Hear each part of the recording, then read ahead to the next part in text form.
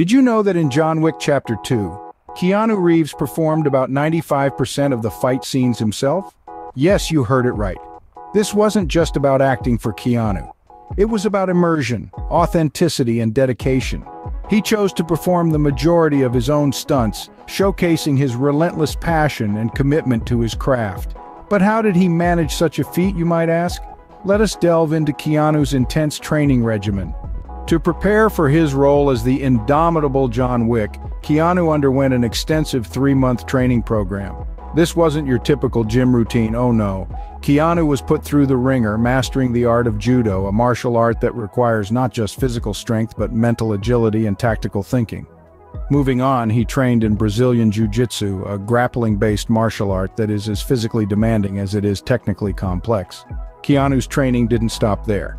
He also learned marksmanship, where precision, control, and a steady hand are paramount. And let's not forget the driving.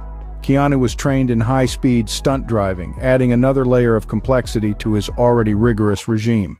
Each aspect of his training was an intense, grueling process that required absolute dedication and commitment. Keanu didn't just show up, he immersed himself completely. Keanu's commitment to his training was nothing short of extraordinary, but the results speak for themselves. All that hard work and dedication truly paid off in John Wick Chapter 2.